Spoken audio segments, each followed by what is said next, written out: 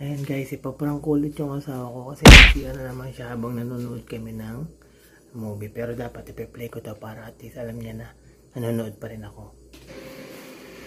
Yan. So, iharap ko na din yung camera para kita nyo. Okay, set ko lang ulit yung camera. A few moments later.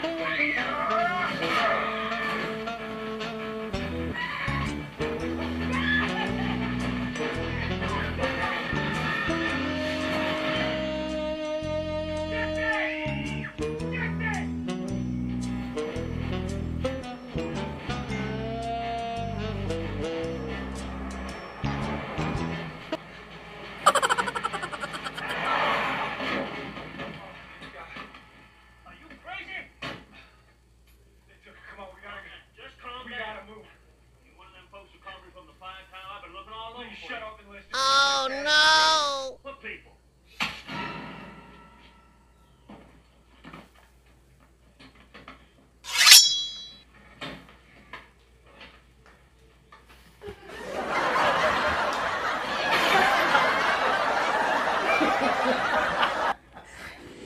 Yun nga mga ka-ibap. Na-prank ko na naman siya for the second time. Habang nanonood kami kasi kan, kami ng habang nanonood kami ng movie dahil nga lockdown. Wrong turn. And nag-CR, di ba? So, ayan. Ano masabi mo ulit? Babawi ako. Babawi siya. Bye-bye! Salamat po sa inyong panonood. Sorry ass DJ.